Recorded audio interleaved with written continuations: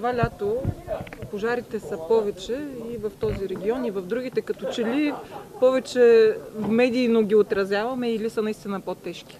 Няма, е няма как да не ви благодаря за медийното отразяване, защото това е едно от нашите а, основни намерения, в смисъл превенция. Благодаря ви, защото чрез вас става достояние на гражданите тежката ситуация, в която изпадаме ние, огромните загуби, които търпи не само държавата и природата, разходите, които правим ние. Тоест, превентивната част да не ги допуснем. А по отношение на броя на, на пожарите, в общи линии вървим към едно постоянство последните 5-6 години, особено за регионите Хасково и Ямбол. Знаете, че днес части от Ямбол, най-южната част на Ямбол е обявена за изключително опасна от към пожари. Тоест, ако възникне пожар, той би следвало да се очаква да е изключително бурен, агресивен пожар, трудно овладяем. По отношение на загубите, които са, е претърпела България от пожарите, това са, чуйте една много прилична цифра, 35 000 декара гора е унищожена до момента. Имали сме години, когато унищожените декари гора са стотици хиляди били. Въпреки тежката ситуация, тази година мога да, да кажа, че организацията, която успяхме да създадем традициите, които затвърдихме съвместната работа с пожарна полиция, кметската управа, областната, най-вече държавните горски стопанства, които последната година успяха да закупат специализирана техника за гасене пожари, дадоха резултат. Тоест, въпреки високата бройка на възникналите пожари, загубите към момента не са толкова сериозни. Но да не дърпаме, както се казва, дявола за опашката, сезона все още не е преминал, опасността съществува. А, говорихте за понятие дълг и чест. Това ли е начина да се отблагодарите и да обърнете внимание на хората, че работата им е действително на ниво? По този начин, като Говорим... ги и като ги стимулирате така. Говорим за мотивацията, мотивацията, която всеки един притежава. А, вярно е, че всички тук момчета, и пък и аз самия, а, сме в тази главна дирекция, за да получаваме заплата, да издържаме нашите семейства. Вярно обаче и другото, че професията изисква особено отношение към нея, особени качества, а то е на първо време ние казваме помогни си, за да мога да помогнеш и на другия. Тоест, учене през целия живот, подготовка. По отношение на наградата, която днес връчихме на, на нашите момчета, това е един от методите, от начините да ги мотивираме. За съжаление, този лос не е много силен в Министерството на вътрешните работи. Парични награди се дават в изключителни случаи този случай дейността на тази служба е оценена като изключителна, поради което министър Бачварова си позволи да отпусне финансови средства. Въпреки огромния бюджет, за който се пише за Министерството на вътрешните работи, трябва да ви кажа, че ситуацията при нас е доста, доста тежка от към наличие на финансови средства и сме принудени непрекъснато да правим економии.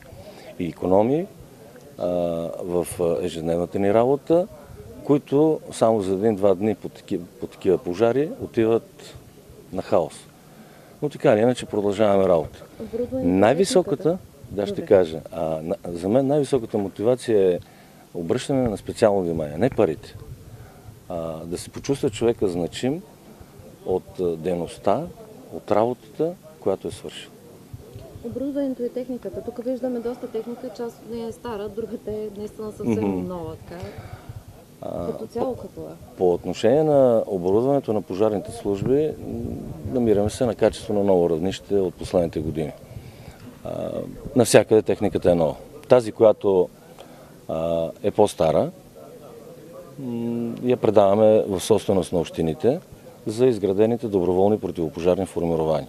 Всъщност, с измененията в Закона за защита при бедствия, в сила от един месец, започваме във всички населени места под 20 хиляди да създаваме доброволни противопожарни отряди. Техниката, която вече е, не е в експлуатация в нашите служби, ще бъде дадена на кметовете на тези общини, за да подпомогнем тези усилия. Тоест търсим създаването на нова организация, нова система по обезопасяването не само от пожари, говоря за наводнения, говоря за бури, за целия широк спектър бедствия. А това платени доброволци ли ще бъдат, които ще участват в тези доброволни е отряди? Да, а, въпросът, въпрос е понятен платени.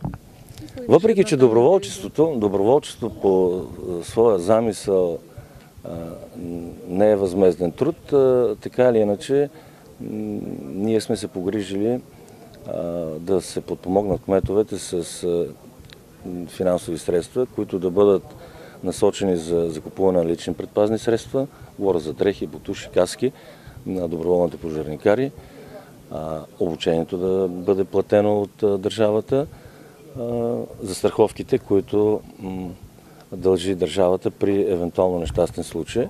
Нещо повече, има механизми в други закони, които позволяват допълнително да бъдат стимулирани тези доброволци.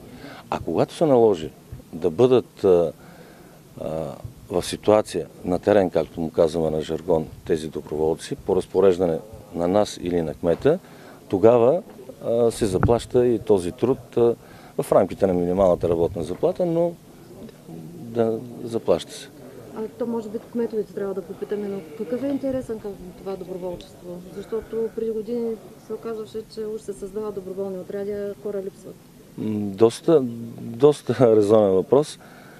В момента а, има малко над 3000 души доброволци, доброволни пожарникари в България. 2400 от тях са преминали всички нива на обучение.